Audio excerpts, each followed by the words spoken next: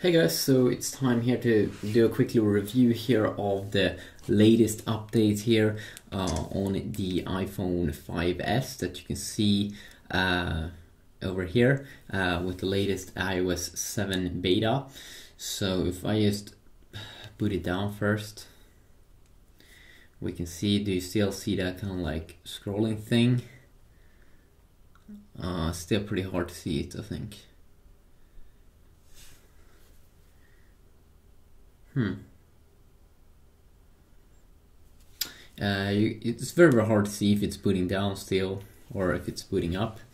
It could be uh, here as that I did see here that they have speeded it up a little bit, uh, which definitely is a nice little thing. Okay, this is interesting. When we're booting up, kind of goes a little bit dark. Hmm. Never seen that before. Oh wait a sec. Is that just because for some reason it have Oh, that's down. I'm not sure why.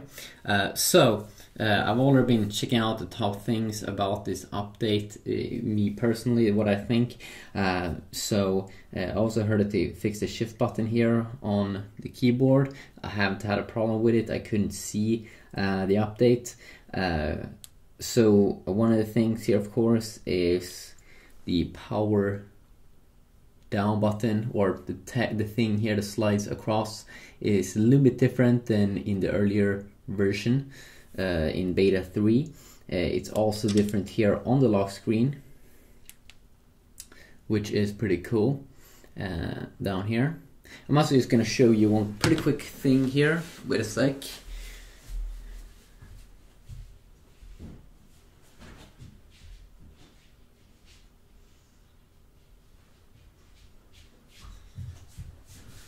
So I kind of did discover a thing here, uh, and that is it looks pretty interesting when you take out something over here or get something over here. Let's see.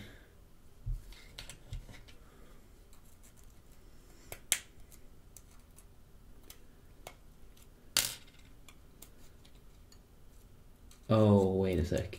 Ah, that sucks. I didn't. I didn't even have a card inside here. But if I would uh, input a card inside of this one, uh, it would look, let's see here. I do have a card here. So I'm just gonna put it out.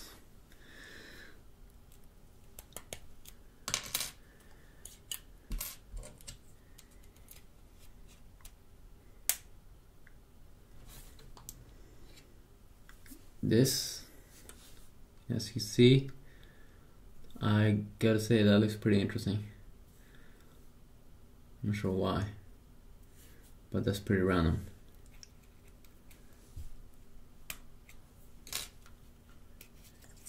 So that is my iPhone 5 in case you wonder the color over there so that is uh, one of the new additions here. Uh, we have a new voice gender, which I can't review uh, in uh, Siri in UK because I don't have an iPad. It only seems to be available for the iPad. Uh, speed, better performance overall. Um, this is what I've seen. Uh, I didn't really notice a super big difference because I was already used to a pretty great experience actually. So. Um, and of course this is the latest iphone 64 bits so you shouldn't really have any issues. Uh, we do have some bug fixes also in the background. Uh, this photos um, this little thing here uh, the photos app should have a new icon uh, from what I've seen actually uh, on uh, on some other devices from what I've read but I can't see it actually. Maybe it depends on where you live or something because I, I just can't find it. And the new dialer or at least I think it's a new dialer. I might be wrong about this but when you tap up here uh, it just goes to new contact immediately. Okay wait a sec. Let's try to add that one. Ah okay that sucks. That sucks.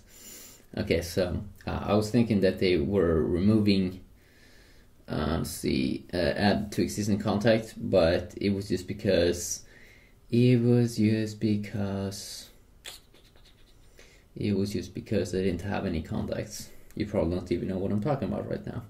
Uh, but it's a very very small update. Uh, the big thing, of course, is those things: power, power menu, and, and the lock screen. Um, so um, yeah, just quickly look here. I've been checking out also in other videos. Uh, but yeah, this is on the 5S. Peace out.